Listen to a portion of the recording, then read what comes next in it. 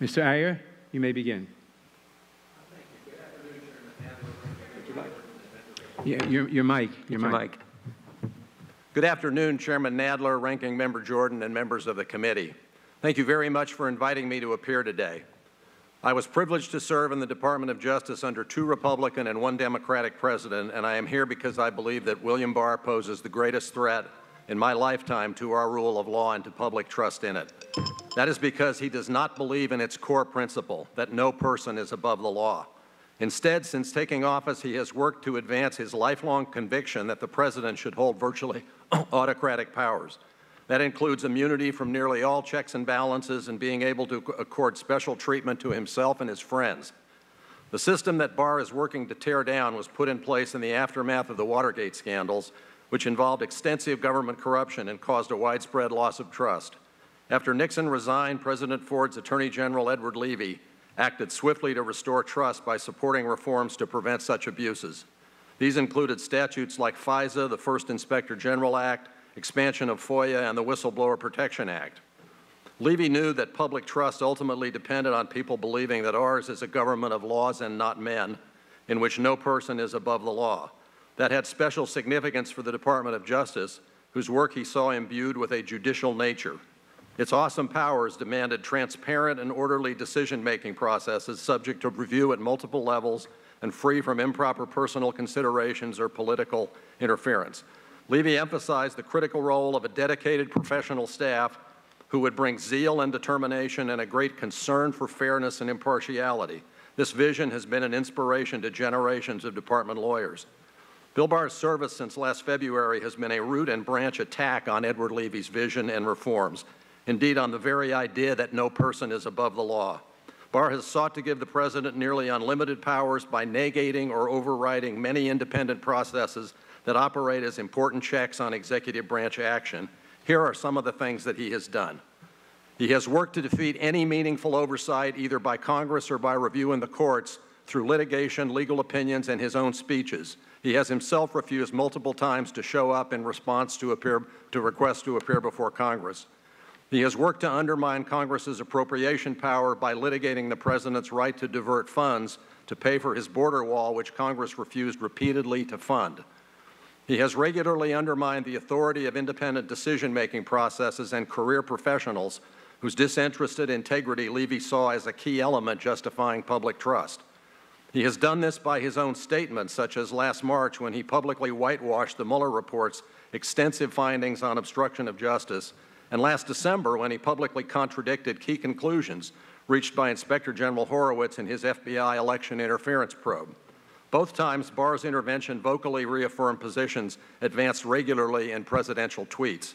He has also done it by enlisting various political cronies to review and reverse decisions of experienced career attorneys, or by simply replacing them in handling matters of personal interest to the President. This is how he accomplished the reversals of long-held department positions in the cases of Trump associates Roger Stone and Michael Flynn, urging a much lighter sentence in one case and outright dismissal in the other. In a number of other matters, such as the intake of information from Rudy Giuliani and investigation of unmasking requests during the Obama administration, Barr has set aside certain subject matter to be handled by people in his, inner, in his political inner circle rather than by career officials who would deal with them in ordinary course. Finally, Barr has willingly supported removal of officials when their attention to duty proves politically inconvenient to the President. The treatment of U.S. Attorneys Jesse Liu here in the District of Columbia and of Geoffrey Berman in New York last Friday are two blatant examples. So is his standing by and voicing support as Trump, during April and May of this year, has removed five inspectors general who have long served as, import, as an important check on executive branch corruption. In an ever greater, to an ever greater and quite shocking extent this spring, Barr has used the great powers of the Department of Justice to advance the President's narrow political interests and gravely undermine constitutional rights and the functioning of our democracy. Consider his apparent role in overseeing law enforcement action on June 1 to deny the right of peaceful protest in Lafayette Park or the plainly frivolous motion filed last Friday to deny and denied one day later to enjoin publication of John Bolton's book for disclosing facts embarrassing to the President. Or worst of all, I think, are his flamboyant media discussions of the facts supposedly unearthed by the specially commissioned investigation he is personally conducting with the help of U.S. Attorney John Durham. Repeatedly, Barr has echoed the president's tweets and conclusively characterized the FBI investigation of Russian interference as an effort to spy on the Trump campaign and, as, as he put it, one of the greatest travesties in American history. And he has hinted repeatedly that indictments are likely. This conduct is a textbook violation of Justice Manual Rule 1 7.400, which bars public comment on criminal investigations before charges are filed. Here, though, the wrong is much worse, as Barr is using a criminal investigation to produce fodder for the president's campaign propaganda mill, which can have its effect even though it is false. This conduct in particular gives cause for great concern about what Barr may do next. Just one, one, another 30 seconds. In closing, it needs to be said that Bill Barr does regularly lie in ways that impact official action.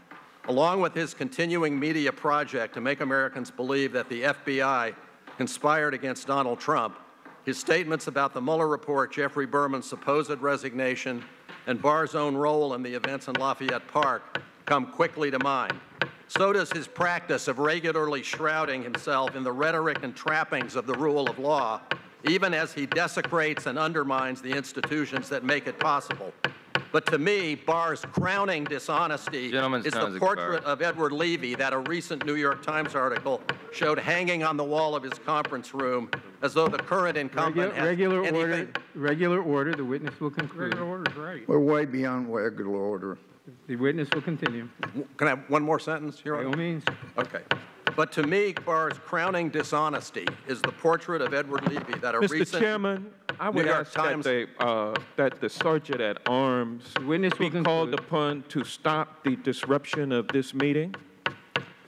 I can't hear this witness. This is a very important witness. Yeah, well, he's way beyond And the chair time. has And if the there are no authority- rules about when chair people has the can talk, authority, does there's he no not? rules about when you can make noise. the gentleman makes a a Doesn't the good chair- point, and the chair will enforce the five-minute rule. Witness will proceed, will Chair is continue. not enforcing the Will con- five-minute The rule. witness will conclude. You- Mr. Chairman, this is outrageous. Do you have no respect for the rules whatsoever? The witness will conclude. He's two minutes beyond concluding, and you don't let us have that kind of time. You gavel down immediately. You're being grossly unfair. This man had a written statement, and he knew to cut it to five minutes. He couldn't do it. Either we have rules or we don't. The gentleman will suspend, the witness will conclude. Thank you. Well, then In we can closing, keep it making needs to be said that Bill Barr does regularly lie in ways that, that impact official action. Mr. Chairman, there's not order in the room. There's a a banging. No, that's there's certainly not. The Mr. gentleman- Chairman, would you have Gene Krupa removed? The gentleman, the gentleman, the witness will conclude. That's what you said a while ago, and he didn't conclude. The gentleman will suspend, the witness will conclude. So the la, I guess the last thing I want to sum up with, I've said all the rest of this, but the last point I'd like to make is that I think his crowning dishonesty in the face of what he is doing to the Justice Department is the picture that I saw in the New York Times a few weeks ago, a, a portrait of Edward Levi on the wall of his conference room, as though the current incumbent has anything but disdain for the beliefs and achievements of his predecessor. Thank you, Your Honor. Thank you. Uh, Mr. Mr. Chairman, I have a uh, parliamentary inquiry.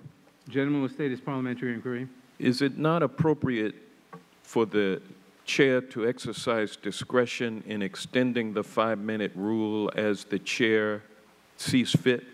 It certainly, it certainly is appropriate.